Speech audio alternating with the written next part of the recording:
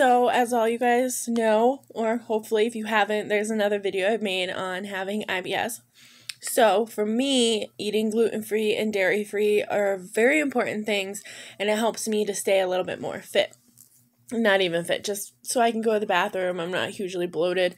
Which, don't get me wrong, like I stated in my other videos, sometimes even eating this way doesn't stop me from looking like I'm eight months pregnant, but sometimes it takes away from the stomach pain. So, I mean, you do what you can. So, I wanted to show some of the foods I eat, kind of give some recommendations. So, I'm actually pretty picky, or at least I always thought I was. And since I've had to eat gluten free food, excuse me, and dairy free food, um, it's been a little tricky trying things. So, the first thing we're going to show you, come snacking on them now, are these. They are black bean tortilla chips. They are actually, like it says here, gluten free, low sodium, which is fantastic because some stuff, I swear, even though it's gluten free, you have the highest sodium and a lot of gluten free foods high in carbs. So that's probably not helping our situation. And this is a good source of iron, which is great because I brew super easy. But if you look in the back, let's see what it says for carbs. Yeah, 19 grams. So 7% carbs. Not too bad, but like I said, these chips are very good. The brown in color, you know, brown, almost black, depends on lighting. But they're very good. Um, even for someone who I don't eat black beans very much, it only has a slight taste of them, like the back taste. So, I mean, if you really hate black beans, you're probably not gonna like them. But for someone that's eh, you know, on Taco Bell black beans I've had, uh, the taste is okay. You know, if I don't have to eat a whole bunch of black beans, these are actually pretty great. Now, next, I don't even have any left of these. Um, I had two bags and I ate them all within like two days. I really like these. Now, cinnamon is a great thing to eat. Um, it's good for you, you know, obviously in portions. You don't want to suck down a whole thing of cinnamon. However, I got these, and I don't like sweet potatoes either. I'm very surprised I like these. Sweet potato puffs, cinnamon churros. Oh my gosh. Fantastic. I literally mowed these down. They're certified gluten free, certified vegan, which I know some people like to eat that way. I mean, most of the time what I eat is, so I don't really mind. Now I'm going the back of this. There's 17 grams of carbs, and there is no dairy in these either. Like I said, ate them so fast. Loved them. Loved them, loved them, loved them. Now, these are my lovely potato chips I get to eat, which are great. I love barbecue. I'm happy they had them in this flavor. But these as well are gluten free. I just get these at Walmart and they're really good. The other stuff I showed you, I had to go to an actual grocery store in my town to get. Have bigger variety for gluten foods. Fortunately, Walmart doesn't have that much. They have a, a, little section, which is nice if you're doing like a little shopping trip and you just need to grab a few things. And this is one of the things I get. Very tasty. I love these things too. And you can even see they season them very well for a potato chip. I think they're great. Just saying. Now, I got these two. Now, this brand, Enjoy Life, is fantastic.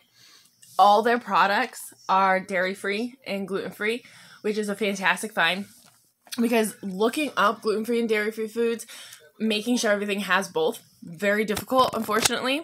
But this brand, fantastic. They even have chocolate chips that are dairy free and gluten free.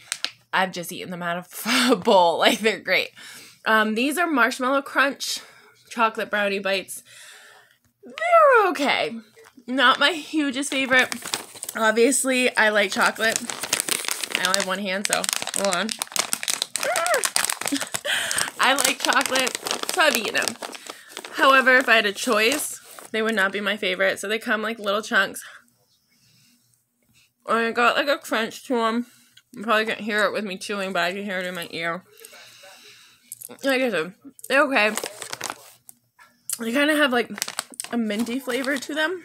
Let's see. I don't really know where it comes from. It says made with dark chocolate, um, ancient grain flour blend, chocolate chips, marshmallow flavor, and crunch rice crisps. I guess the crunch comes from the rice crisp, but the minty flavor, I'm not too sure. But they're okay. For someone that I like chocolate. Obviously, chocolate is dairy, so you have to be careful. Um, they say dark chocolate's the best. I don't really care for dark chocolate either, unfortunately, but it's okay. Now, I also remember I don't have them right next to me, but those cinnamon puffs I showed you, I got barbecue ones as well.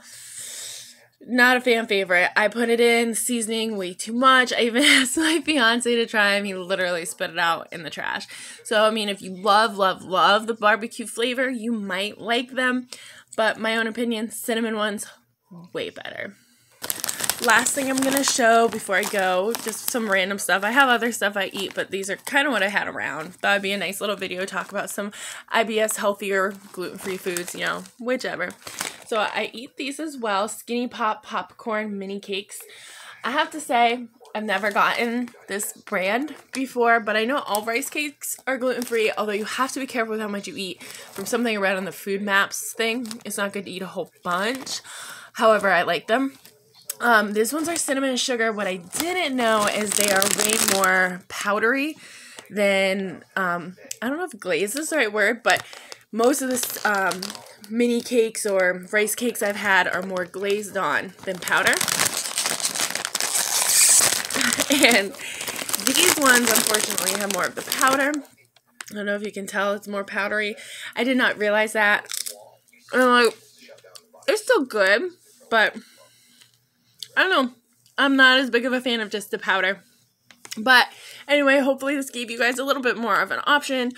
You can see what we have to eat. Honestly, I do tortilla wraps for myself. For what I eat, I do the spinach gluten-free ones. I like those ones better than the plain gluten-free ones. Better, they have a little bit more flavor to them. And it's an acquired taste. It's hard. You gotta get used to the bread aspect. Um, the bagel gluten-free ones I got, they're tolerable, but I never make it through a full bagel. And I can't find dairy free cream cheese. So if any of you know where I can find dairy free cream cheese, that'd be great. I found the butter, which is good. Um, they make it with avocado or it's like oil butter. Not that bad, just can't use a whole bunch of it. The bread though, oh, I haven't found plain bread that's gluten free that I like yet. It's too thick. I can't seem to get it. But hope this was informative. Little insight into how I eat and try to deal with my own issues. And I hope it helped give you guys some options. You guys have a wonderful day. God bless.